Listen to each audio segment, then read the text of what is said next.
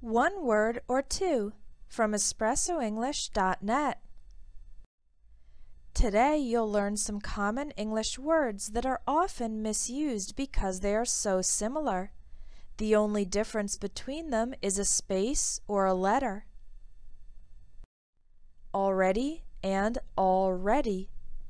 Already means something that has happened previously and all ready means everyone or everything is ready. For example, the clothes are clean. I've already washed them. Hey guys, are you all ready for the road trip? Sometime and sometime. Sometime means an unspecified point in time and some time means an unspecified amount of time. For example, let's go out to eat sometime next week. That refers to a point in time. She's been working here for quite some time. That refers to an amount of time. Anyway and any way the word anyway means in any case, and any way means any manner or any means. For example, I don't mind coming to work early. I'm a morning person anyway. If there's any way you can help us, we'd appreciate your assistance. Every day and every day. Every day is an adjective meaning ordinary or casual, and every day means daily frequency. For example, you like this dress? It's just my everyday dress that I wear around the house. This doesn't mean I wear the dress every day. It just means that the dress is ordinary, casual.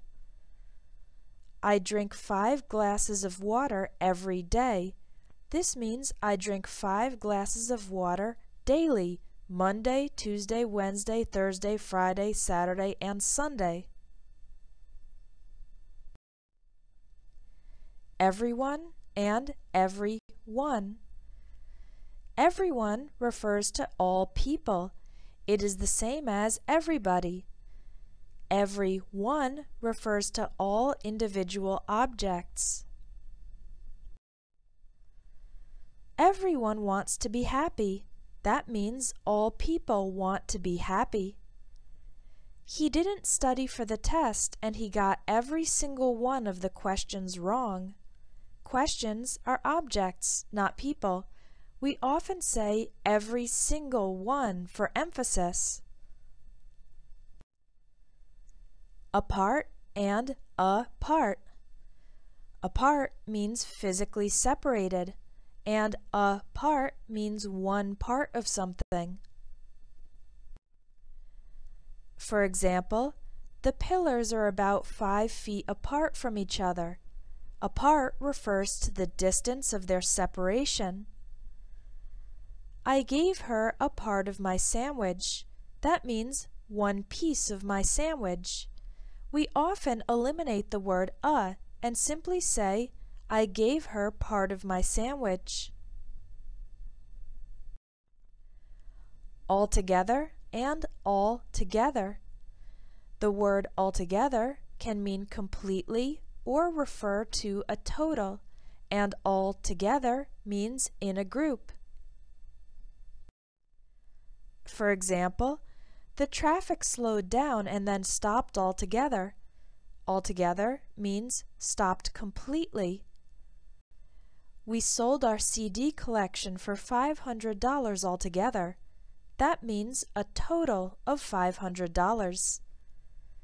I love it when my family is all together at Christmas.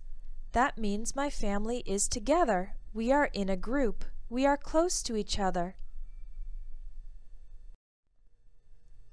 To clear up your doubts about confusing words, get the new ebook, 600 Plus Confusing English Words Explained, available at espressoenglish.net. It has more than 200 pages and over 5 hours of audio with easy to understand explanations of the confusing English words.